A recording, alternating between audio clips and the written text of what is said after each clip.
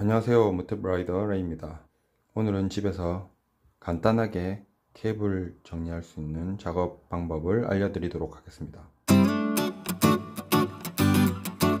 집 근처에 있는 다이소에서 쉽게 구매할 수 있는 까베기 전선 정리 제품입니다. 제품은 10mm 이상 되는 사이즈를 구매하시면 되고 가격은 1000원입니다.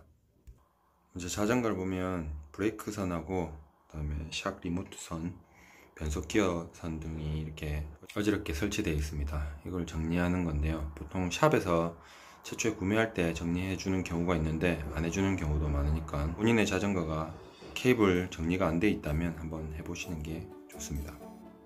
제품은 보시다시피 흔히 시중에서 볼 수 있는 까베기 형태의 케이블 정리용품이고요. 설치 방법은 아주 간단합니다. 끝부분부터 이렇게 말기 시작해서 까베기 말듯이 앞쪽부터 차근차근 말아오면서 알아서 꼬아가면서 설치해 주시면 됩니다.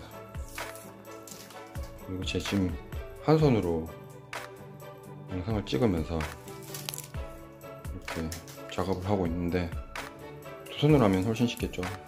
하물며 제가 지금 오른손 손등이 골절 상태라 가지고 아직 다 아물지 않은 상태입니다.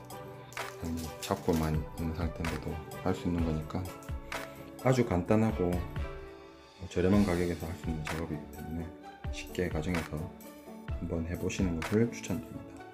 마지막 부분은 여기 커팅해서 테이프로 계란 테이프 넣는 걸로 끝에 마무리 해 주시면 됩니다.